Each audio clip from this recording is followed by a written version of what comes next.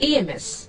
EMS, the Engineering Information Management System from Hi-Tech eSoft, has been built with our extreme understanding of the component manufacturing business at our parent company, Hi-Tech Gears Limited. The drawing release procedure is automated through our world-class change management process and workflow. Digital signatures and online distribution ensures that no physical paper floats in the organization as long as it's not absolutely necessary. 3D model gets exported from the CAD software to a web viewable format which can be viewed on the web page without the need of a CAD package with the end user. Entire information needed for the components like its process plans, QAPs, control plans, machine information, toolings like gauges, jigs and fixture, cycle time and cycle cost information, etc. are all available at the click of a button to the authorized user.